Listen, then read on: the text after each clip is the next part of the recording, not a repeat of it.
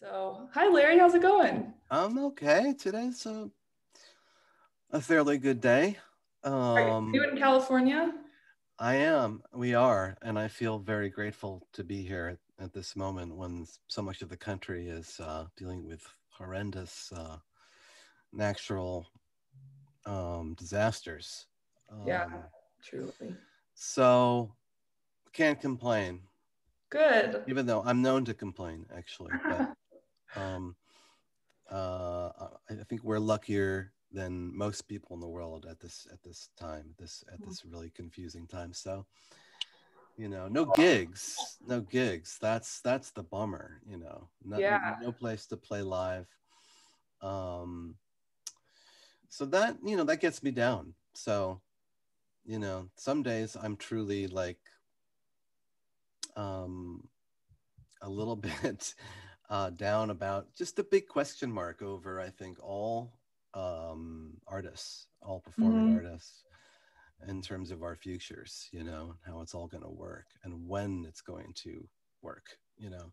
Yeah. It's a, it's a very stressful unknown to have. So, having said that, I have this little studio in the backyard of our home, and I'm able to do some work for, you know, from here Mhm. And I do this Patreon thing, um, and that's keeps building, and that's good because that's a that's a that's a means uh, it's it's a way to teach, which I like to do, and it's a way to um, come up with creative ways of of teaching, and um, and connecting, and Mhm. what we need now is connection, you know. So it's like I have this little private group that's expanding little by little of fans um, who interact with me, and um, it's fun for me too. It gets me thinking about music. It gets me thinking. It gets my wheels turning about video, little videos I can make for them, educational things. That's been fun too because I think the pandemic is like um, the lockdowns um, and the not traveling. I, I haven't not traveled for this long a stretch since I started traveling for a living, you know. So really half my year is travel. So it's like a kind of a mourning that I Yeah. feel a lot of the time. And like you see all these people putting up old gigs, old gigs a year ago, you know, uh, or more. And I've started to put pictures up of, because I think a lot of people are going through their photos, I think a lot more these days. Um, and I'm putting pictures of, of like all my heroes, that mostly people who were mentors of me you Mhm. know like arnie lawrence who's the per- who's the guy who started the new school and like he really was the first person and i'm really it's, it's an opportunity to appreciate what what we all had um you know um and you know jim hall used to say um, i had the privilege of touring around with jim hall for two and a half years or so and we'd be on some grueling ridiculous tour. And uh, it would be like the worst travel day and we'd be sitting in an airport waiting for a flight that was late and he'd say something like you know guys it's still a privilege that we get to do this you know? Mhm. and first of all coming from jim hall he was always one to just i don't know when he said something i you really wanted to listen. I think he had some incredible experience in his life and um and a sort of wisdom. And um and it's it's like now it's like it's so true you know you can be in the midst of a tour that where you're just in survival survival mode getting from gig to gig. And the two hours you're on stage that's the thing that that you that's really what it's about. But some of these tours are grueling. Mhm. And you start to complain and you know moan about this life and now it's gone at least for now. And boy i'd i'd be i'd, I'd be very happy being on a in a van somewhere in the middle of germany to play a cool venue or and you know we need to play for people. Mhm. um you know i've been watching some of these live streams some of which are great but the thing that's never there is the feeling of a shared experience Mhm. even though you get thumbs up and emojis and shit like that um, what you're seeing when you're seeing something live is uh, you're sharing the physical space, you know. Mm-hmm. And can you imagine music uh, d- developing in a situation like this, you know, or anything? Right. you know, not really getting used to it. I mean, I'm less.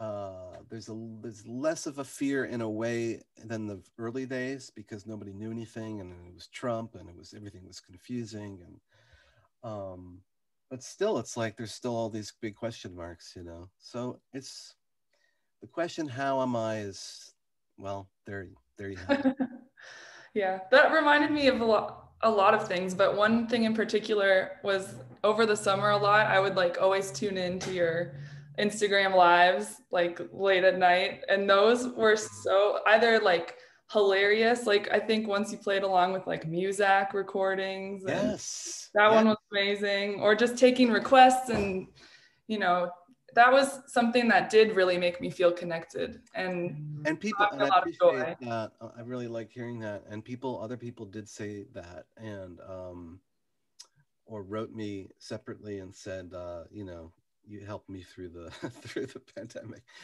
Um I was helping, trying to help myself. My God, I mean, I was, uh, you know, a lot of those I was probably drinking, and that was also helpful too.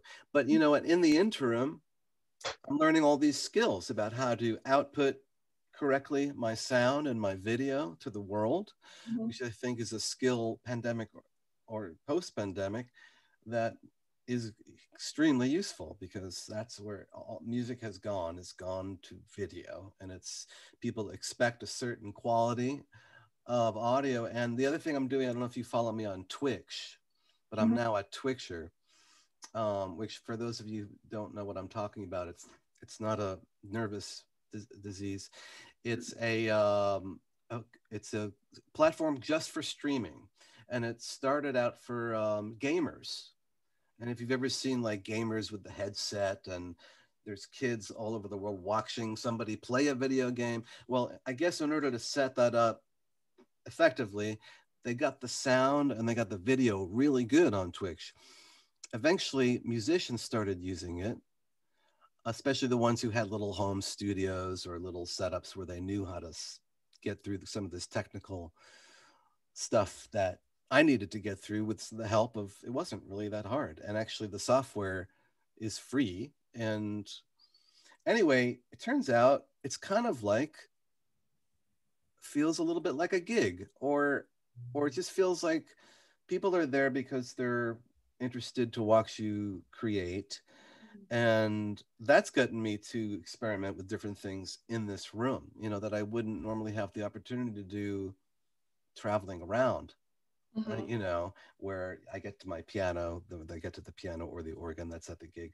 I mean, the fact is, if I'm only here half the year, there's a lot of this stuff I'm not really figuring out. Like, what would I do if this was my axe? You know, if I took out the celeste, I have this, I'm borrowing it, it's not mine, but it's an old celeste from the turn of the century and um, I've done some videos with that, and it's just getting me to sort of try some some other things and it's almost like a throwback to when I had, I was lucky enough to be a kid that had a basement in the house that I grew up in. And that basement became my music room.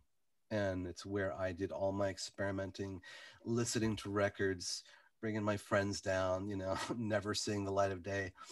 And um, I actually had an organ. I didn't know anything about Hammond organ, uh, but I had this Yamaha organ that, that my dad bought. And um, used to love organ stores, you know, like um, back in the day, that was like a, a, a, thing that people had in their living rooms was some kind of organ mm-hmm. um, that had the bass pedals and the foxtrot and the bossa nova, and you can, and I loved that. I mm-hmm. loved, and my mother would drop me off. Not that you asked, but my mother would drop me off at this place on Route 9. I grew up uh, in, in, a suburb of Boston. I grew up in Newton, Mass and this place was like in Framingham, and she would drop me off as if like we were really pretending that maybe we were interested in some eight thousand dollar three tiered spaceship. I just love sitting down at this thing, or one of these things, Baldwin organ and piano, and uh, I remember John Kiley was there one day. He, John Kiley, you would not know his name. He was the organ player for Fenway Park for the Boston Red Sox. And one day he was there, like signing autographs. He was this big, red faced, alcoholic looking dude. And he was the guy who you always heard at Fenway Park. And there he was. But I sat down on one of these organs, and my mother would go off shopping somewhere and leave me there. And I have, you know, I think that was a very influential thing. Mm-hmm. But I, it was only years later when I started playing Hammond organ that I remembered that. Like I didn't even make a connection between the two, except obviously there's a connection between the two. Right. But anyway, I digest. What's next? Yeah, well, it's funny. Like I, I also had a little. I saw my mom like when you said there was like an organ in your basement and that was your music room. I saw my yeah. mom react because that's like my situation too. We, had like a M3 and I don't still don't know how to play organ. I don't have any organ chops, but that was like similar for me. I think it's so great to have an instrument growing up when you're growing up in a home. And I I didn't even mention the piano. It was right. my, a present to my to my parents, I think, from my grandmother. And it was a small Steinway uh, baby. It was a baby grand, mm-hmm. very small piano, but it was a Steinway. And it was from like the 70. It wasn't a incredibly valuable, but it was a Steinway. Still, when it was in tune, basically sounded like a Steinway. And so I was very lucky in that way. And then I had a basement. Forget about it. I mean, yeah. that was my. Um, this is now my basement. This is now my my playroom as an adult. Mm-hmm. Um, so happy we got this thing. It's actually a prefabricated thing. Once we ordered everything, they they came, and two weeks later the thing was up. Nice. It was kind of crazy, and it's not soundproof, but we don't really have people right on top of us, so it's not really an mm. issue. I mean, if the if there's a lawnmower or something, and I have to record audio, and anyway, it's not a problem. It's amazing how many studios I've been in in Los Angeles, professional ones, where they deal with the same thing. And I, I, I, when I realized that, I didn't feel so bad. It's like, oh, you know what? Let's have lunch now because, you know, we're going to hear this thing for an hour. And right. I didn't feel so bad. People are just, you know, people just trying to make do with what they have. Mm-hmm. Um, and it's very key to have it. I think a separate space. It's really good if you yeah. have a family, and you know, then your your kids are convinced that dad actually has some kind of job you know, that he goes to over there. Yeah. Well, speaking of like the Steinway you had, you grew up playing classical piano at first, right?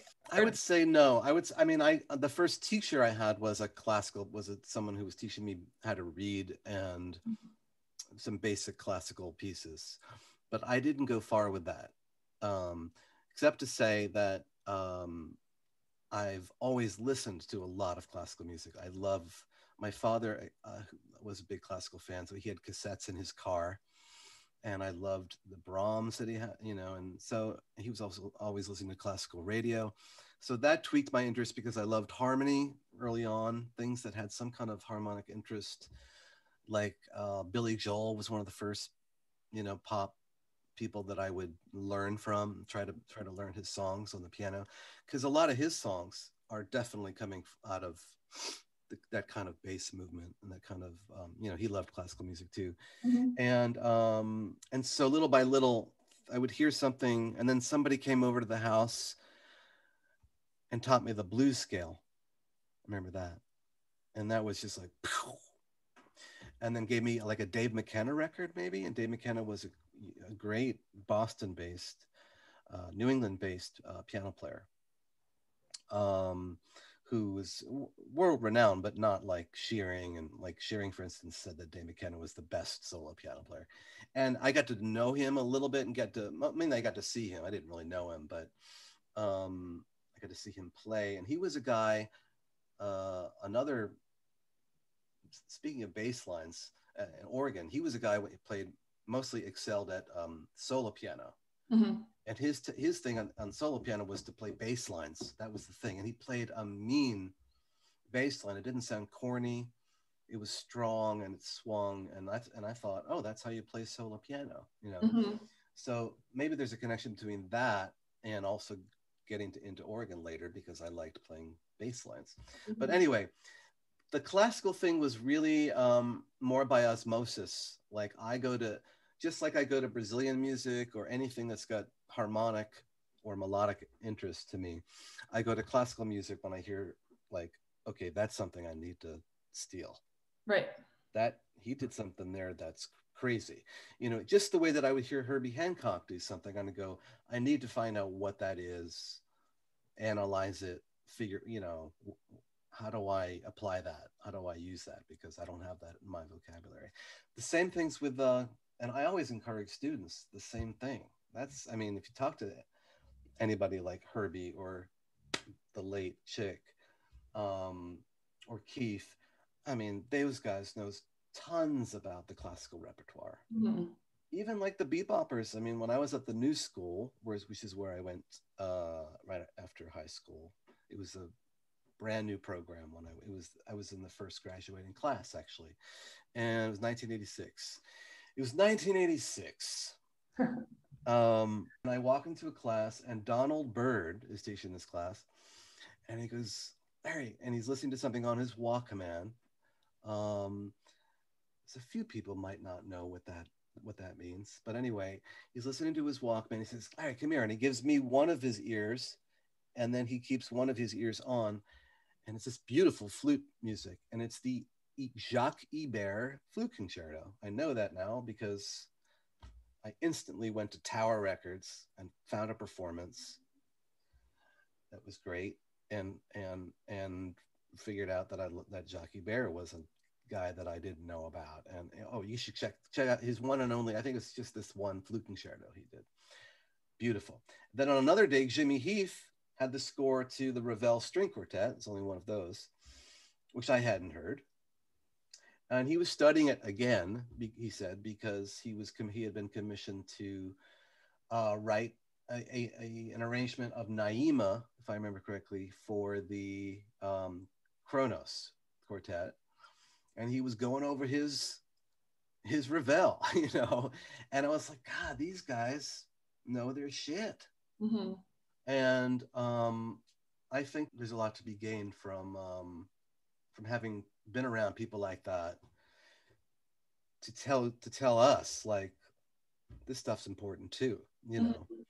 So anyway, tech from a technical point of view, um, I don't have much training.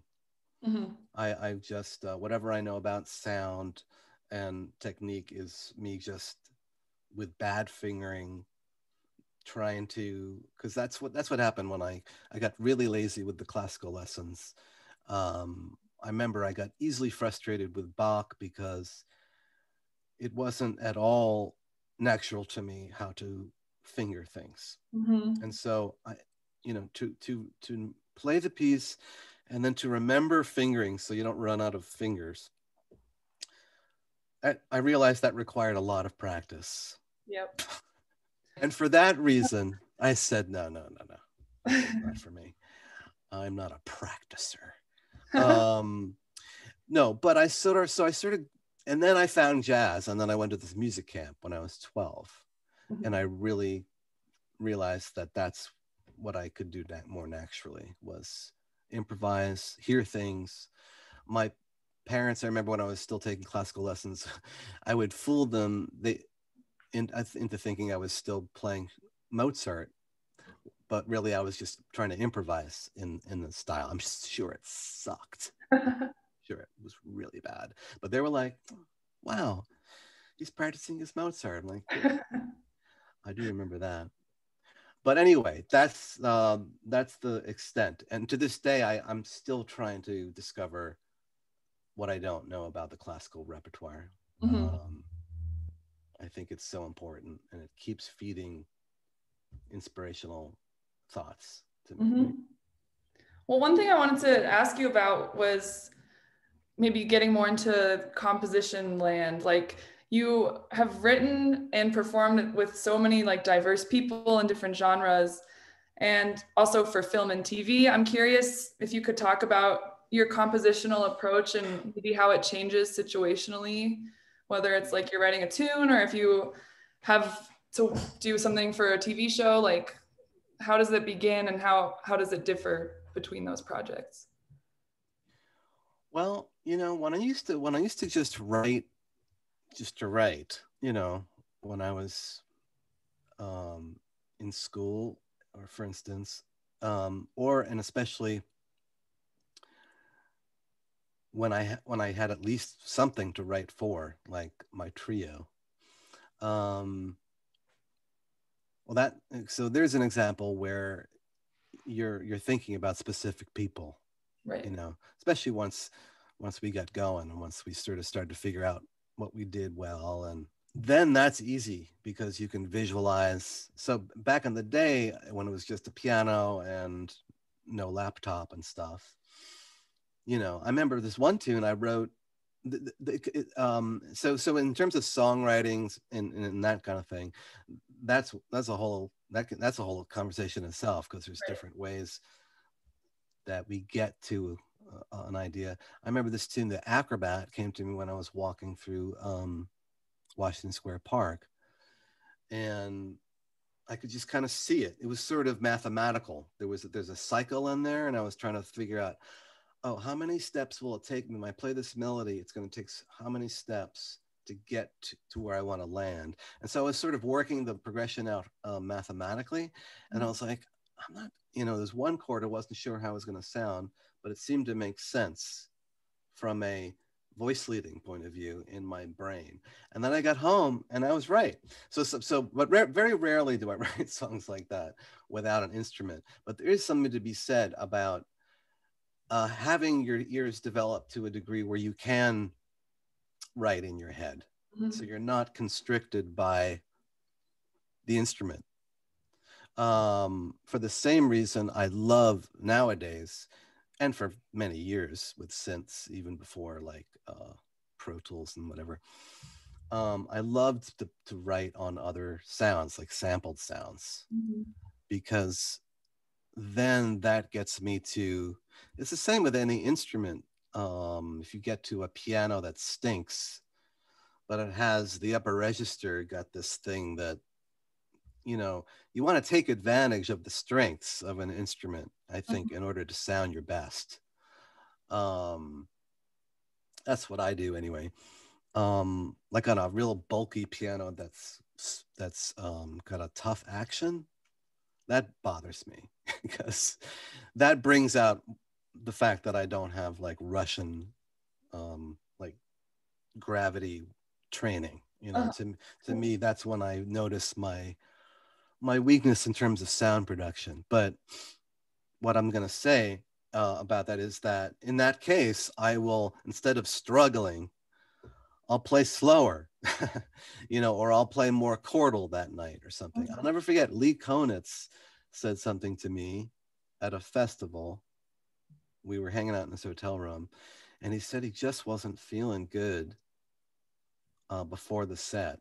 So he decided to just kind of um, change what his goal was, you know, for the gig. He's like, he just said, you know, I'm, I think I can still play pretty melodies and play them nice. Mm-hmm. So I'm not going to really try to do much more than that you know, and he sort of set his, and then it was a good night because he was able to do that, you know. I was like, wow, that takes some courage for one thing, you know. I mean, it's like that was the first thing. I was like, I could never do that, you know, because you go to a gig with all these preconceptions of what you just expect that people expect certain things of you, you know. And uh and that that does happen. But as soon as you let that go, it's kind of cool. I'm not that good at it, but I've, you know, when I see Lee Konitz say something like that, or, um, you know, I no, I mean, I have found just out of survival that I have to play an instrument to, you know, I have to figure out, and it's the same with the sample. So if you've got a really nice, I don't know, guitar sample, I love guitar samples, especially acoustic guitar samples. Mm-hmm. I don't play guitar, but I, I mess around on it and I know I've known, I've been around enough guitar players to know how it works, what its limitations are, and things like that. So you have to play within those limitations. Otherwise, the, the really good sample will not sound that good because even to the amateur, it'll be like, oh, that sounds like, you know.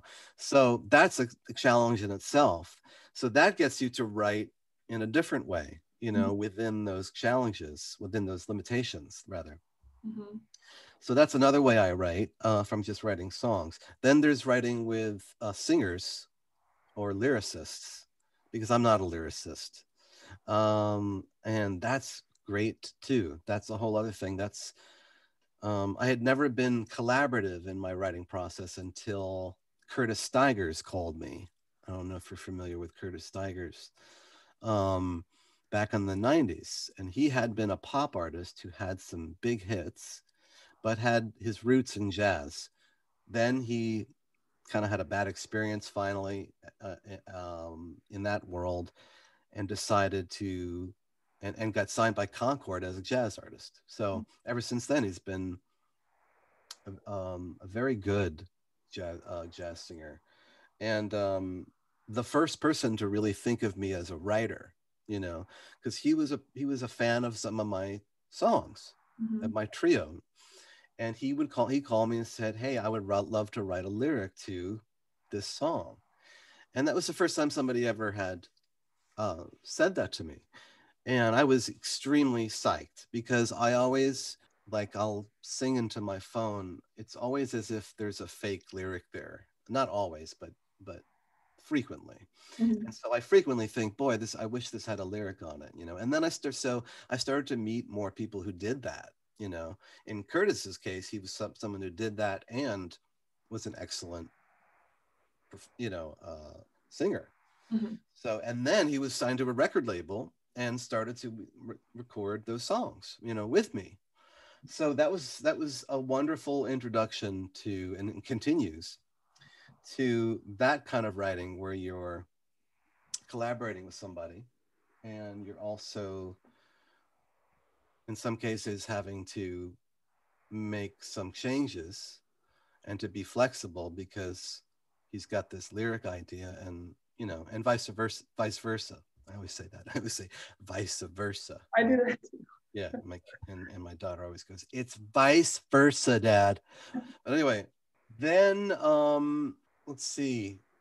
Uh, yeah, so movie. I haven't done a lot of. Um, I've played on many more films and television things that I've uh, that obviously that I I mean that I have uh, written uh, mm-hmm. for, mm-hmm. but that uh, has been a very very um, very good but challenging process. First of all, I always I'm a big film lover, so and comedy, you know. So um I always kind of wanted to do that. I always loved John Williams. Anybody who disses John Williams is is in trouble. Mm-hmm. Um, because I I really did appreciate how good his music was, you know, especially uh, then after hearing you know hearing lesser people like score those type of big movies. And i always i knew he was a jazz guy originally and that always interested me you know he made records as johnny williams and uh, started as a jazz person. Um, but anyway i have obviously never been on something of that size. The first real film i did well i did documentary for a guy who paid me very little and said look at least your name's going to be on it and there'll be a foot in the door oh, he forgot to put my name in the credits. I loved that. Oh man. So that was my first experience. It was a documentary about uh, a cigar company. They're from the Dominican Republic, so I had, you know, I very quickly had to put a band together and figure out what, you know, because obviously he wanted something that was going to be, you know, of that influence um, and it turned out to be a, uh, except the fact that I did, got no credit for it, I could immediately see the challenge in um, people don't ever give you any time to write. They just figure you're just going to put this together like in no time. You'll just improvise it and it's done. Um, and uh, the various challenges, like, oh, I have to write in a different style. You know, just that alone is something that I've always loved, you know, mm-hmm. even as a kid.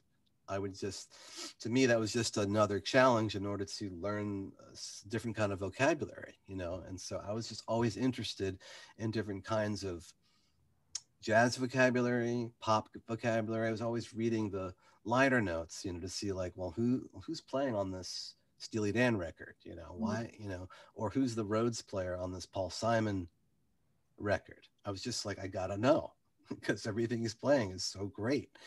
And and um, this is what's so terrible about the digital age and the fact that you can't instantly get the exact same information when you mm-hmm. download something because those are people's jobs, you know.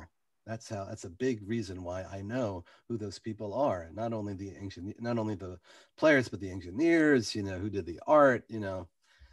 So it's very sad that we don't have access. I mean, of course we have access, but you know what I mean. It's not yeah. built into the streaming platforms in a very thorough way. But that's that's something else. I'm just complaining. But the real and so the first film after that that I did was for Jeff Garlin, the comedian from and I think one of the co-producers of Curb Your Enthusiasm. He plays Jeff, the the uh, the, the manager and his kids were going to the our kids' school. That's how I got to know Jeff, and that's how my wife got to know his his wife. And uh, as these weird things happen, you know, people always told you, you know, you're going to get a film just by accident. You know, you're not going to. Doesn't happen, but you know, you show up, you have the meeting. You know, you know, the way it's really sometimes happens is is just through a personal connection. So what happened was we threw a party, one of the few parties we ever threw, you know, in our little house and we just said, well, let's invite these people. It was really my wife's idea because I'm never the one who wants to come off as as being like, you know, let's put these people together because maybe. I'll get a job out of it. And you know, I'm in Los Angeles, and that's kind of how people think. And people expect you to think like that. People and and well, now it's a whole other deal. Now nobody nobody knows where the work is. So if you can connect with people, that's the way. It, and I actually have learned a good lesson be, uh, from that because, but anyway, I'm going off on tangents. um, so make a long story a little longer. Jeff came to the party. Jeff and Marla. Sia came, the the singer songwriter, who because she was a, a friend of mine at that time. She's still a friend of mine, but um, and but we didn't socialize that much. She showed up. So it turned into this music soiree, something I would love to throw right now, you know, Jeez, and not not have to worry about anything. Mm-hmm. Um, and that will happen when this thing is over, man. We're gonna have soirees like uh, like you won't believe, and uh, then I'll and I'll finally learn what that that means in in English.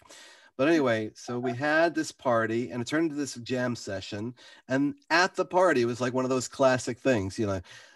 You know, I got, you know, and Jeff is like, you know, I got this film. It pays, you know, shit, but you know, if you want to do it, you know, oh no, I know what he said. He said, "Do you like Nino Rota?" Is what he said, and I said, "Yeah, I love Nino Rota. Nino Rota is the guy who wrote all the uh, Fellini movies, and he did The Godfather, and he did some great other scores, but mostly no. And we went into my little room that I had at that time, that was my little music room, and I, in fact, played him a piece called Dario and Barrio that was basically a ripoff of Nino Rota, which I ended up recording.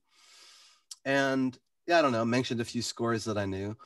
Anyway, that was it. We made a connection, and uh, I ended up doing the, the, the film, which was so easy in terms of it was only him that I need that I ever talked to about music. Nobody else had any opinion.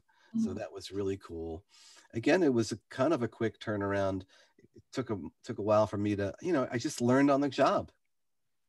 And you get people on the phone who have who are doing it, who are friends of yours, and you go, they sent me this. Do I do I chop up the the reel to put it into Logic or whatever, you know, or to Pro, you know, and you're just figuring it out and you figure it out and boom, you've done your first film, you know, and uh, I was very happy with, you know, oh, everything I was, and I was learning how to do demos because everybody I knew was delivering demos to their producers or their directors. And so it ran into all the classic things Oh, but the but in terms of your question, you know, that was like based on a few conversations certainly he liked the idea of Nino Rota, but I was like, oh God, Nino Rota, that's like orchestral. You know, I can't, I'm not going to be able to, I don't want to do a, a MIDI orchestra. It's going to sound stupid. There's no money for real orchestra. So then I started researching films, Nino Rota soundtracks that were small groups, and there are a few. Mm-hmm. Like where the where actually the organ becomes the more of the orchestral instrument. I was like, there you go. I play organ. It's perfect. And the movie was about baseball, little league baseball parents. so the organ became a fabric. So I was like, Jeff, what if the organ is part of the soundtrack? Because it's a, he's like, great idea. And he just, you know, anything that I brought up, he was like, I love it, you know. And the only thing was, and I worked hard on the demos too to make them realistic. I bought this expensive trumpet library and, you know, stuff and he was loving the demos. And then i explained to him like okay so hey if you want to come to the studio on february whatever we're gonna i'm gonna record all the music with the real guys. He's like yeah but it's not it's not going to be different is it? You know he was it's what they call in the business uh, demo love. But demo love is what happens to a lot of people. They get used to what they like what they've been liking through the whole process and then they tell them yeah we're going to replace all this with real people and i said it's going to be better it's going to be even better. And that's what happened. He was like, yeah, it's, and actually what I did is I, because I was nervous about it, all my organ parts were in Logic and I made those sound as good as possible. I figured, you know what? I'm going to leave those. So mm-hmm. I printed those. And when I did the session at a really in a professional studio, we just played along with what I had done to and everything was to a click. Therefore, everything wasn't new. Mm-hmm. And also it took the pressure off me because I've seen people at on film dates who are playing too, and I'm just like, yeah, maybe if I don't have to play that much, I can just sort of produce, you know. Yeah. So that was, you know, and it just it really felt like learning. There was no music supervisor. Uh, there was no, well, certainly no music supervisor. There was no music editor, is what I meant to say. And the music editor is, if you don't know, is someone who plays a large role in in a film. They're the person who's sort of your um, your your middle person between the director in the case of film and the producers in the case of television which is what i've learned. I didn't ever even meet a director in when i did this um, netflix thing which i'll tell you about.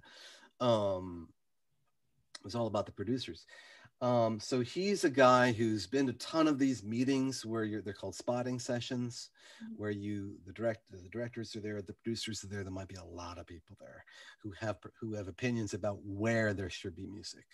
So they're looking at a current edit, and um, and I'm learning all this stuff. I mean, I've played on film, so I've been I've been at sessions where you see this is going on, or you, or you're at somebody's home studio where most people are scoring television in their homes now. I mean, if you're a keyboard player, I, th- I, I think that keyboard players are very, very lucky because they have all the samples and then they don't have to hire any real musicians.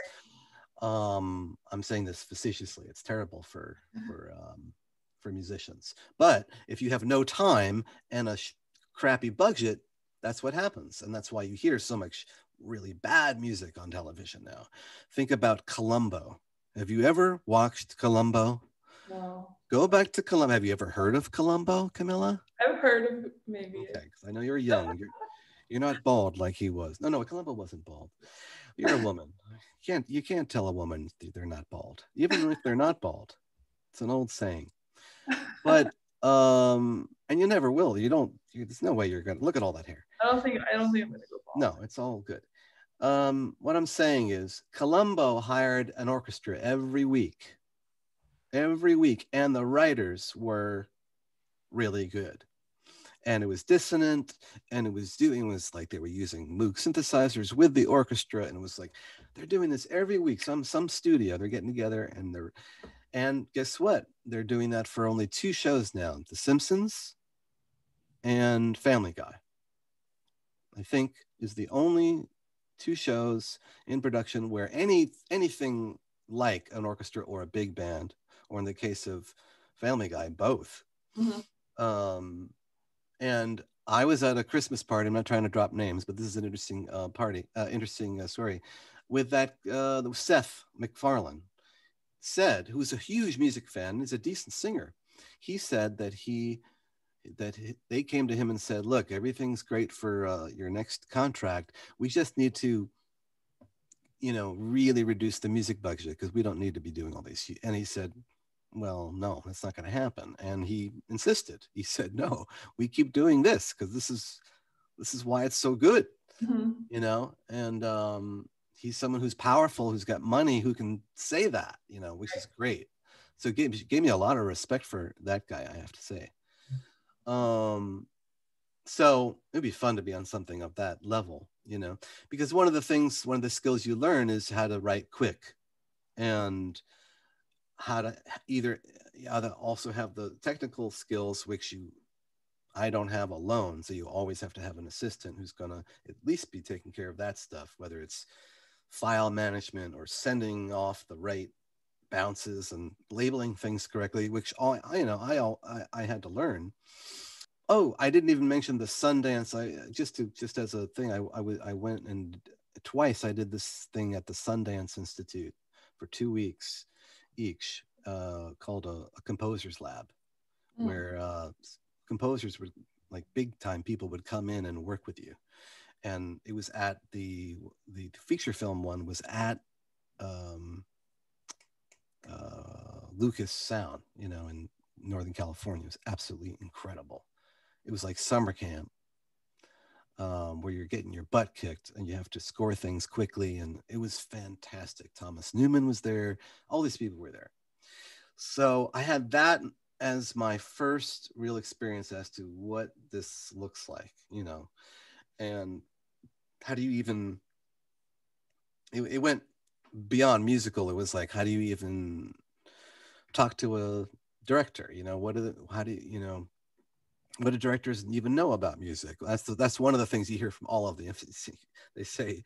You know you have to remember like they know a lot of them know nothing about your world.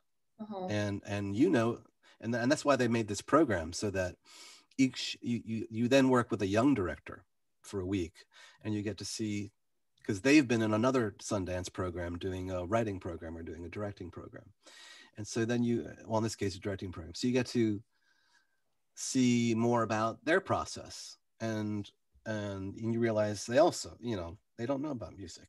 They don't know why something's good or you know they might think they like a certain piece of music that they really want to use in their film and and uh, or and sometimes they have wonderful instincts, even mm-hmm. though they can't explain to you uh, anything about music. Right. And those are the people you want to listen to because those, those are the people, because I'm not a director. I, I haven't been, one thing you learn is these people have been sitting with this idea for maybe a decade. Mm, maybe they thought of it a decade ago. Mm-hmm.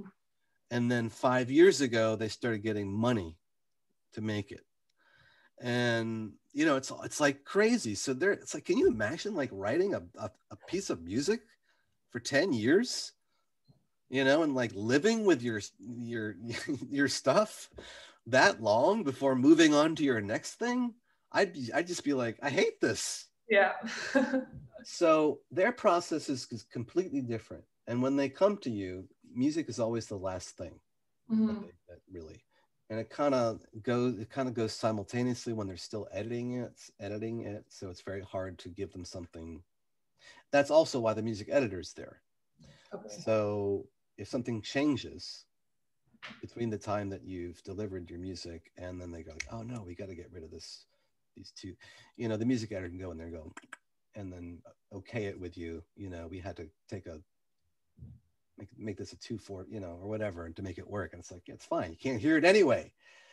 Um, which is the other issue, which is the other thing that you learn uh, that we learned at the Sundance Institute, because they got the sound department one year that year involved. So you see what they do.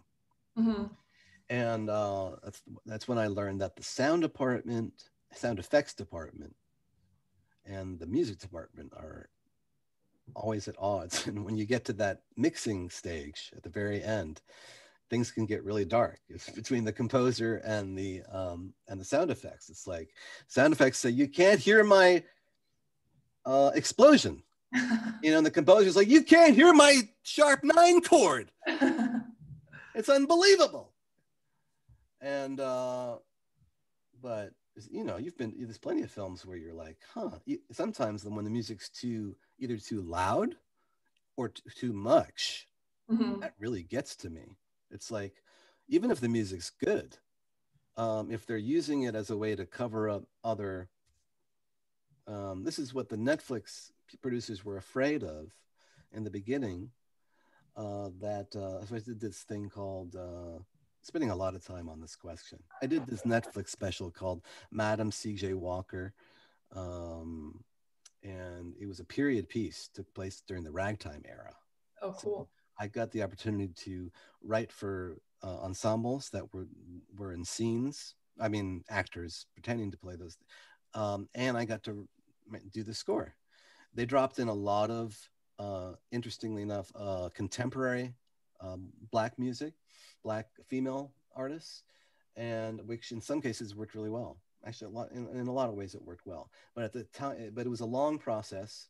It was only four episodes. It was a mini. It's called a limited series and there was a lot of stress um, but in the end uh, i was really really happy with it and uh, they reached out to me about putting it out as a soundtrack so we did that and that's actually what i did right at the beginning of the lockdown in march um, that had come to and i was i was so happy to have something to work on they just said yeah put it together you know mm-hmm. just use the cues you want to use and i stretched out some other cues that were too small, you know, would have been better as longer cues.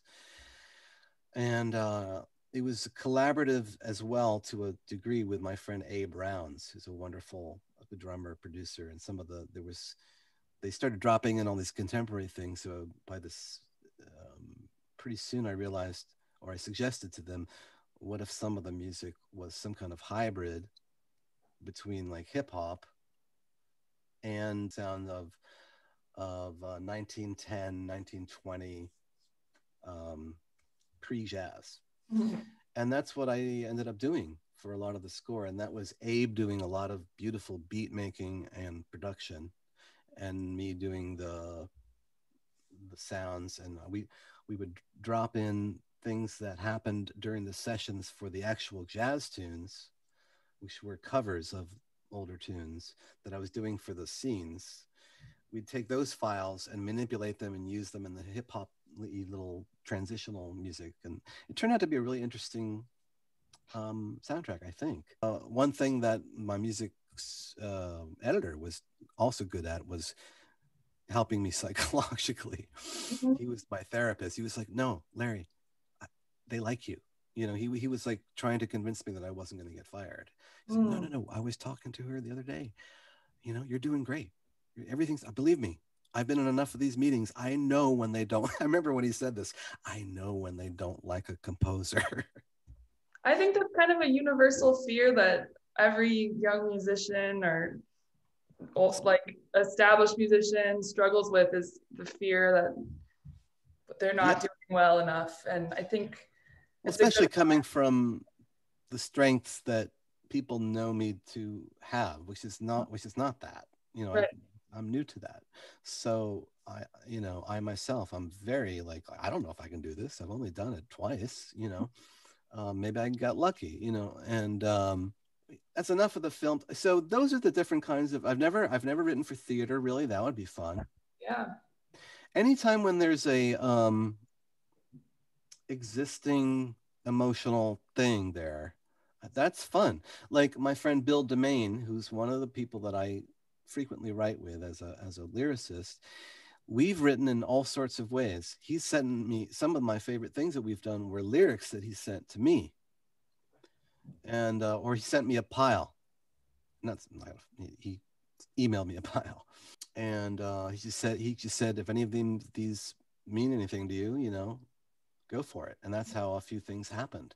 And that's a whole other angle to to take when you're writing yeah. then you really get tuned into the idea of like oh you know these notes have to mean something I have to make this word you know work mm-hmm. you know or how can i or sometimes you get too comfortable with something because musically it is strong and you forget to look at look at it deeper and you look again you go yeah but couldn't i do something better because the because he's saying this and uh, one just only has to look at great songs to you know figure that out but music you know non-singing people sometimes are so nerdy about just music I mean, it took me years to, as much as I was listening to music with with singers, it took me w- years to to tune in to lyric the lyrics, mm-hmm. um, like Bob Dylan, for instance.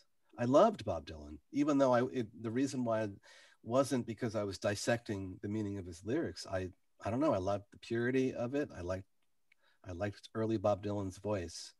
Um, early Bob Dylan's voice. I like Bob Dylan's early voice. I like his. I just I like folk music. I like pure folk music. But uh, same with like Leonard Cohen. I didn't, you know, or just the fact that I love so much Brazilian music, or some some so many of us do. I don't know what they're saying. I'm missing half the experience, and yet this music is mesmerizing. You know.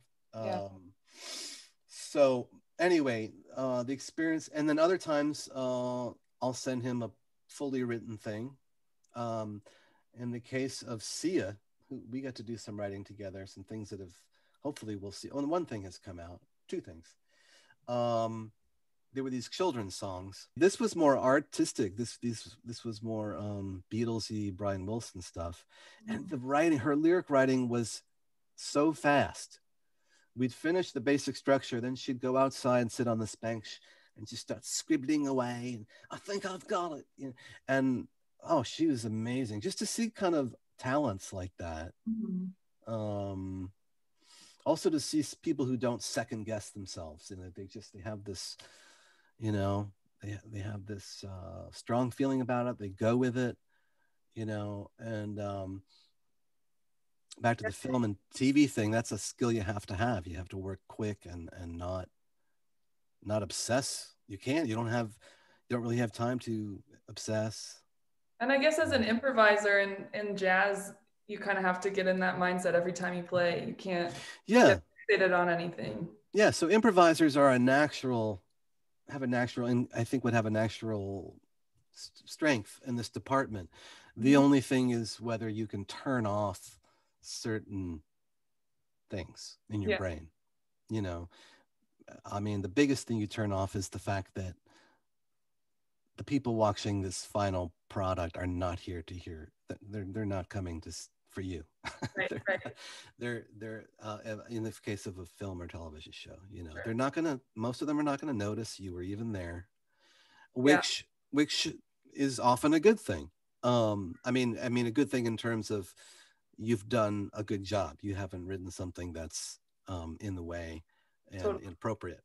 Um, but the fact is, music is so underappreciated and undernoticed in how effective it is.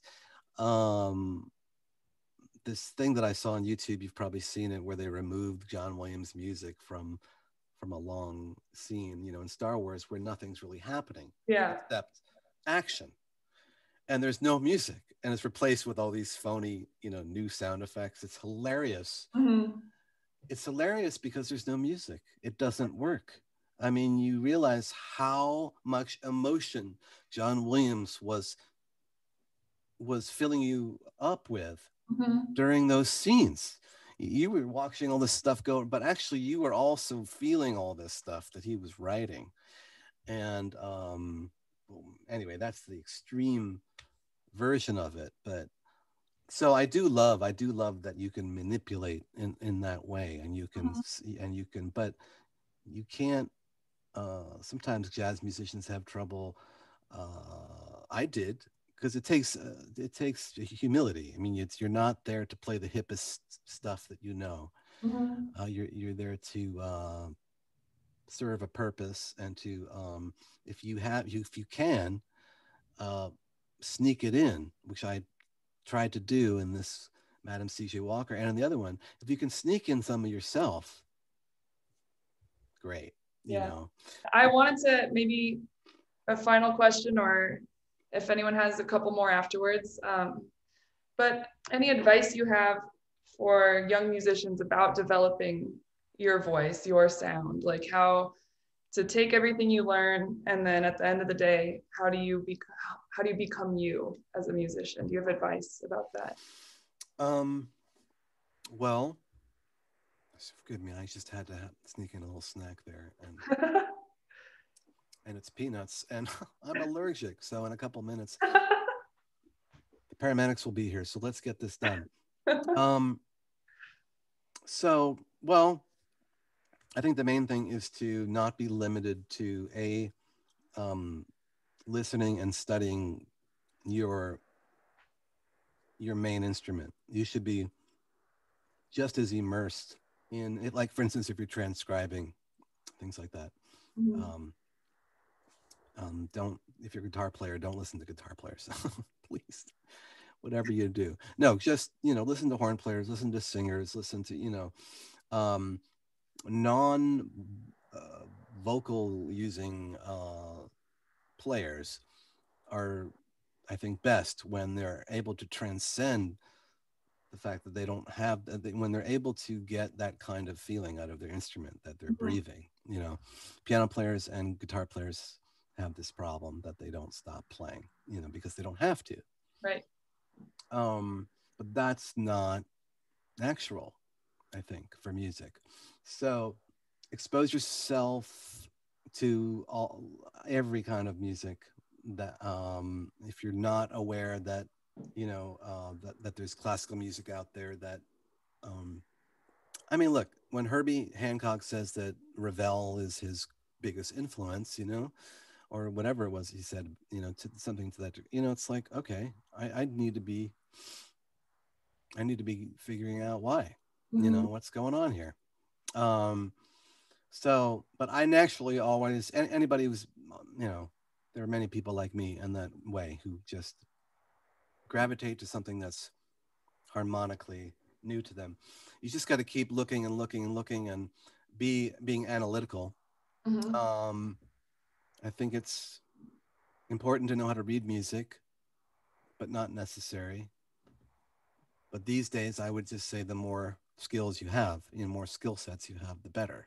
Mm-hmm. Um, because things are so, you know, insecure in our in our business. So if you can, uh, for instance, I really wish that I were a great reader.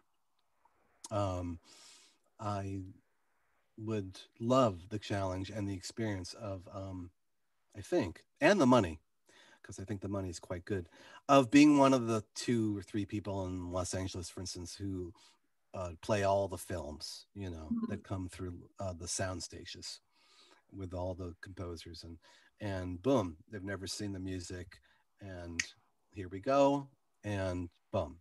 I've been to some of these sessions, and I just go, sorry, take care. All right, good.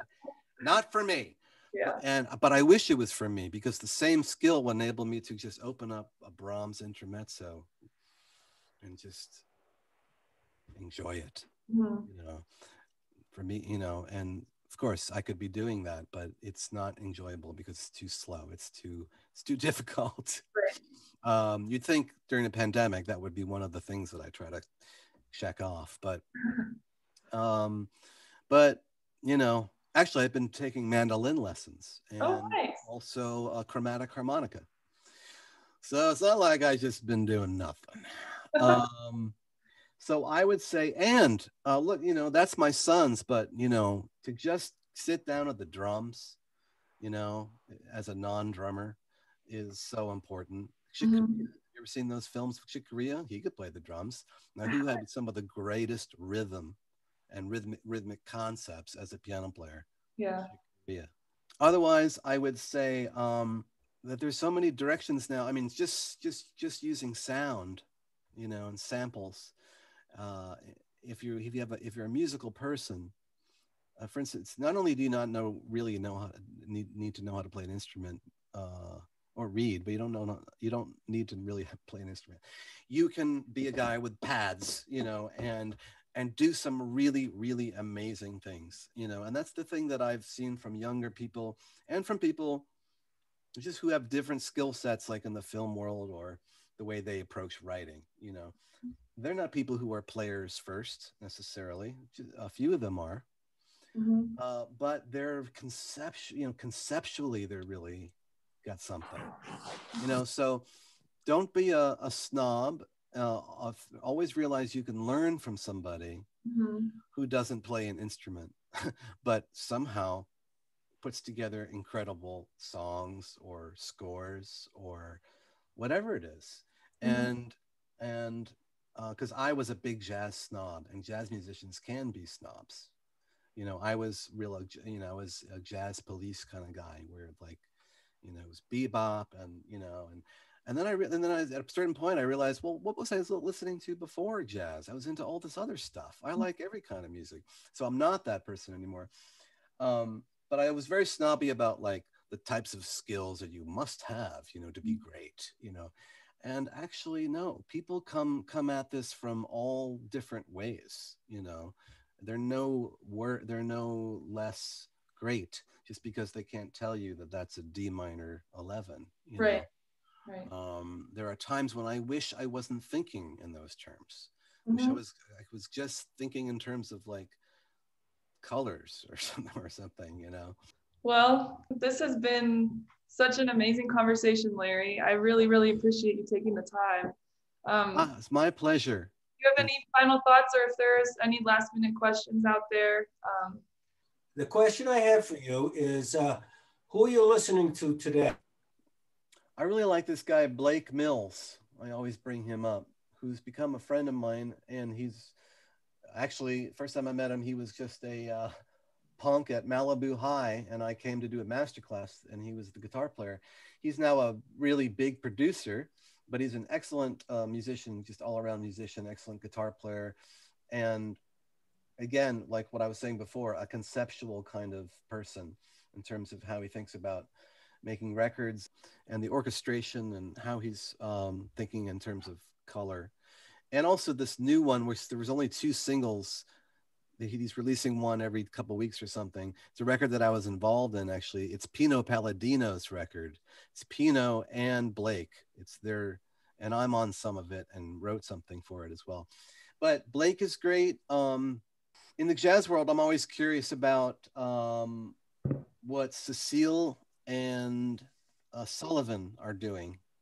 I saw one a very inspiring thing during it was several months ago, but it was like a oh, I got must have not been live, but I had just happened upon it. It was one of those tiny desk concerts or something, and I was very very impressed with um, that level of uh, musicianship there. Um, I love this gospel organ player that I that you can find on YouTube, and he's very inspiring. His name, he's probably my favorite con- current gospel organ player, and his name is Derek Jackson. I highly recommend you go look at his videos, particularly for keyboard players. There's a few that are like master classes, except you know his idea of teaching is like, well, I don't know if you get to the F sharp and you just want that kind of feeling of you know, and that, and then you just go there and that's how it's done. You're like, yeah, you know, and, he, and he doesn't explain it, but you watch him do it, and oh, I, I learned something just the other day by how he's doing some inner movement stuff. Um, there's people I keep going back to. I you know like Louis Armstrong and Billie Holiday from the 30s. That's just my perfect dinner music. And um, who else? Uh, this is a book that I recommend. That's about music. It's it's uh, written by a composer Max Reger. It's called Modulation, and it's really thin. And all it is, you can find on Amazon. It's like seven seven dollars. All it is is like start in this key, and then eight chords later end up in this key, and it's all like in Bach kind of four four part style writing, and it's really fun. It's really good. Um, those are a few, but I'm always listening to music, and that's what I would also recommend to to people. Um, and and I'll just leave you with this: what Paul Bley Paul Bley's advice to me, which applies to that question, Camilla, is uh, after he heard me for the first time, which was at the Village Gate. I recognized him, and I got up after the set. And he came up to me and he said, this is literally what he said. There was no introduction. He said, I know what you need to do. You need to gather up all your favorite records and throw them out the window. so that's that's maybe what people should do. Not, you know, only after they've internalized them, mm-hmm. you know, gotten enough from them that they they've learned they, they feel like they've learned what there is to learn from it mm-hmm. then throw them out the window and you know that was amazing advice because i mean at the time i might have been a little offended i think um, but no i wasn't really but i knew what he meant he meant i, I hear your influences and i don't want to mm-hmm. you know mm-hmm. i want to hear something else and that was probably one of the best things anybody's ever said to me particularly because it was somebody like that who I did look up to. And we ended up going out to coffee. And he said some weird things, but man, I'll never, ever forget that experience. Yeah. Wow. You know, and just the fact that I've had experiences where either I'm told something by a Jim Hall or I'm told a story that comes secondhand from Charlie Parker right. you know any chance that people have to spend time with people who have experience you know because unfortunately you know those people you know, the tommy flanagans you know the people that i was able to go hear any night of the week in new york you know of that generation they're gone basically or they're not playing or or and you know so we're getting further and further away from the source so um and there's no there's no way of there's no uh, substitute for that so people should get to the source whatever that means to them if they mm-hmm. idolize a person they know they're now we're in a pandemic but when people start playing gigs again and it's you know people feel like they need to go to new york or to wherever it is they need to really uh, absorb stuff unfortunately this is the worst time for someone who wants to learn music there's yeah. you know bands that are doing virtual rehearsals or whatever they've i'm sure very brilliantly people have, have have come up with ways to but they're not playing together. Sucks. That's the whole point. So. Well thank you larry. I really appreciate you taking the time. Okay. Well